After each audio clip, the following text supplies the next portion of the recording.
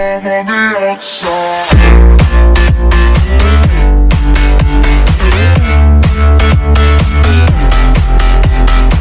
Hello and welcome to Ant 3D. Just a quick review video on some 3D filament that I purchased the other day from a company called 3D Filler Print.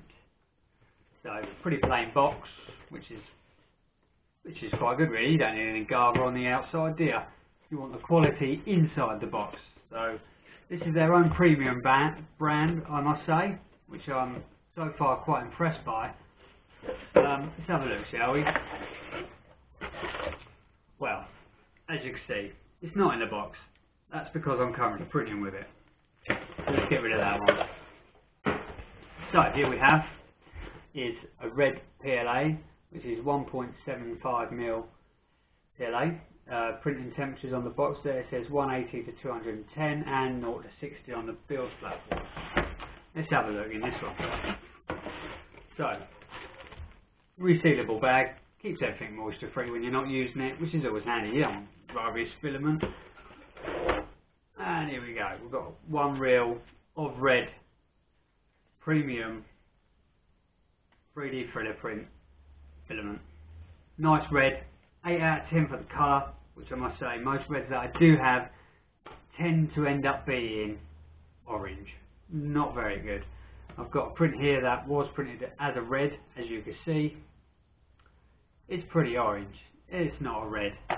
But this is a good red for the price for the price range as well, which is £21 for the for the spool.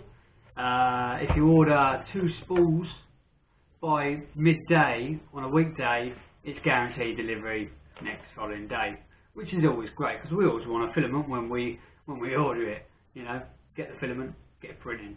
There's no real problems on the uh, printing side. It seems to print really nice, nice smooth finishes.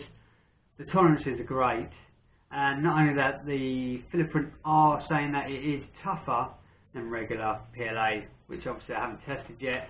Which in the future, hopefully, I will. So let's let's have a look at the prints. Get rid of that. We don't want that. Uh, so here we have is the OpenRC F1 car, which was designed by Daniel Noree. This is the 2017 model, so it's looking pretty nice. It is red, as you can see. The video might make it look a bit orangey, but it is, yeah, definitely red. Very nice red. Nice smooth, smooth finish. Nice layer adhesion. Yeah, it is pretty nice. So, as you can see, here is the 2016 model. This looks pretty nice. As you can see, nicely printed. Yeah, it's not too bad. Here's here's the the white premium filament from 3DFilaPrint. As you can see, it's all you know it prints really nice for the for the price. You know, amazing, amazing value for money, really. If you think about it. Plus, you get next day delivery if you order by noon, which is even better.